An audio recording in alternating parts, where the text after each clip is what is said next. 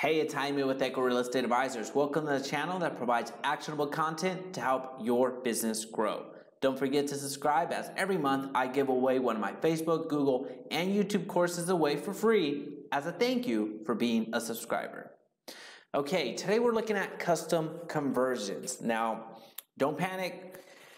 Custom conversion sounds a bit complex, but it really isn't. The first thing you need to know is to make custom conversions work, you have to have a Facebook pixel installed. So that means creating your Facebook pixel, which there's a video on this channel about that, and installing your Facebook pixel. There is also another video in this channel that shows you exactly how to do that. So don't be alarmed there is already training on how to do that. We're not going to spend too much time in doing that because it takes a little bit of time and I just want to get to the main course of the custom conversions. So what are custom conversions? First, we're going to look at two definitions that you see on the screen right now. Learn from custom conversions. So see the details of how customers interact with your business, like the price and style of the shoes they view on your website, app, or in a physical store. That's another way of saying measure what's working and be able to target and see what is actually working as um, let's see details of how cu uh, customers interact with your business like the price and style of the shoes so you're able to see um, and track what is actually working. You're able to see what actually converted into a sale, into a lead, into whatever you're trying to track. You're going to get to see that here in a few seconds when we actually create one.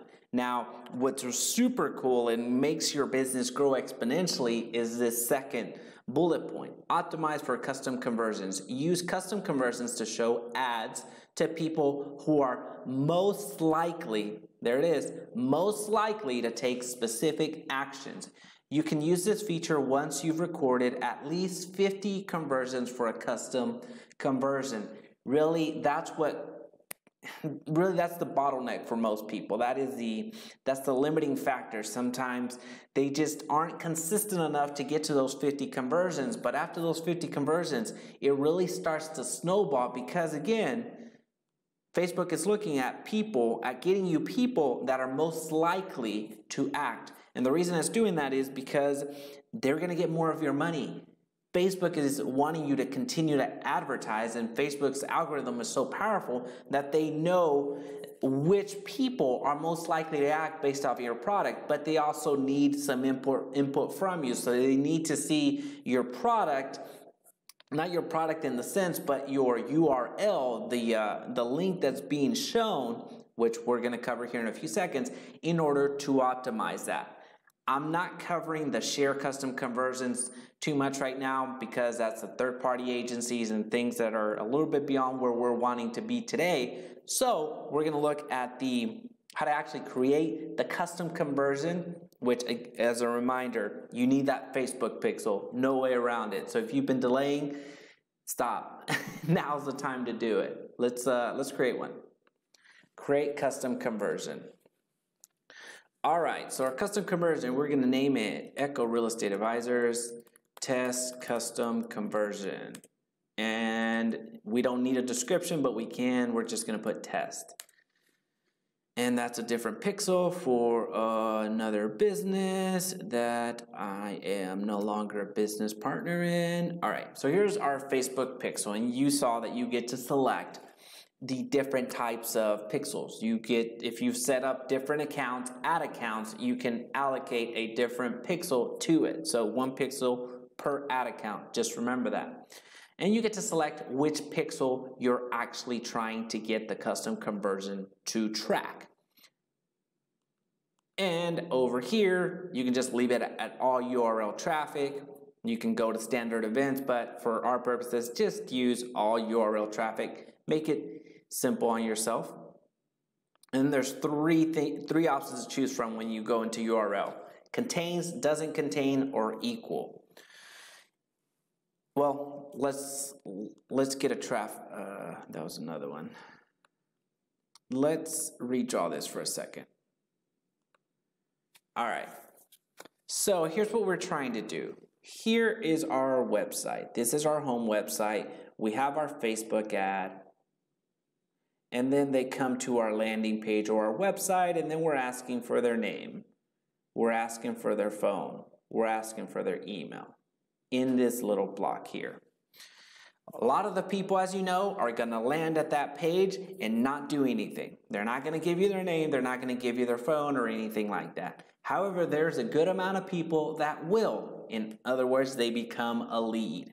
Or if you're selling products or whatever the case may be, very similar concept. So once they provide that information over to you, this is going to come to you either into your CRM or into your email or to whatever automation you have that's going to be fed to you.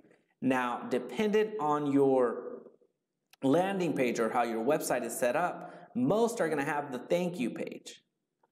Most are going to have, hey, thank you for submitting your information. We're going to be in contact with you, something to that effect.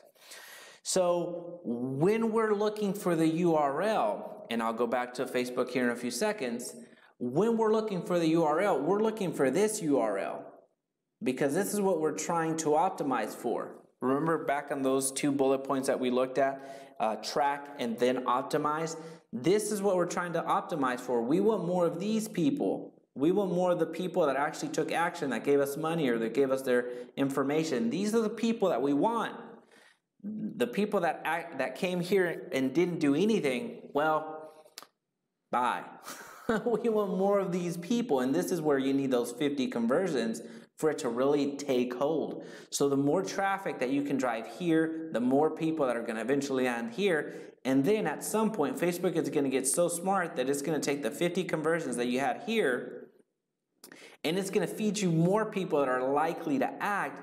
And you're going to see the amount of people that give you their information from right here just skyrocket.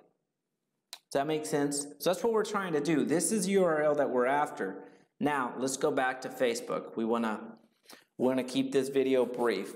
It gives you three options, contains, doesn't contain, or equals. So when the URL, the URL that they're asking for is, if your URL on that landing page right here is static and you know that it's static, it's not going to change ever. So if it says echorealestateadvisors.com slash thank you and it'll always say thank you no matter what, then you're okay putting equals. However, if your URL changes and it changes frequently, a lot of landing page softwares, that's what they do. They'll put a uh, .com slash thank you slash one two three four five five five five five or something like that. Or right after you put dot .com slash thank you and then just a bunch of numbers. So that the last snippet of it is constantly changing, then you don't want to put the entire URL. You only want to put the um, the URL that's static, so it's going to contain that. So for this example, if we were to, if we were to put, let's just put a let's our friends over at Zillow, just for fun. Um, okay, you see that URL here? If there was a number if that constantly changed after every single submission, after every new lead that you received, you don't want to take the entire number. You want to not take that. This appears to be static all of the time. I don't know, I'm just using using this as an example. So take whatever you know is going to be static at all time and then put it in contains. So I hope that makes sense. So contains is going to be what um what you know is going to be there all of the time. You can't put exact because this won't be exact every single time unless I keep going back and forth. I'm sorry. I hope that, that I'm making the point. So I'm just going to stop drilling down in that in that in that sense. But just know that if you know that it's going to be static forever, then yes, you're okay using equals. If you don't, then there you go. Now, doesn't contain, this is how you exclude URLs, which is very powerful as well. And just know that this is available to you. You can exclude certain actions as well, and you can continue adding rules and rules and rules. So it gets fun. Just experiment with this and make it work for you. Uh, okay.